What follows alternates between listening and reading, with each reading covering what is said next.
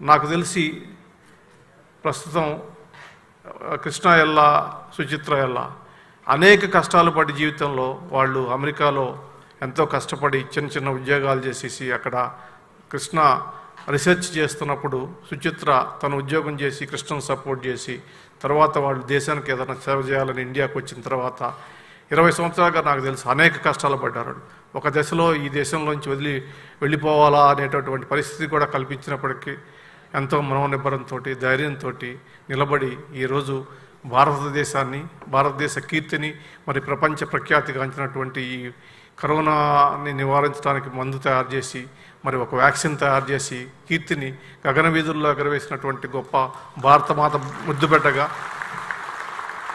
కృష్ణ ఎంత చెప్పినా నేను తమిళవాడినని ఆయన పక్క ఆంధ్రుడు తెలుగువాడు ఆయనది చిత్తూరు జిల్లా ఉమ్మడి మద్రాసు రాష్ట్రంలో అది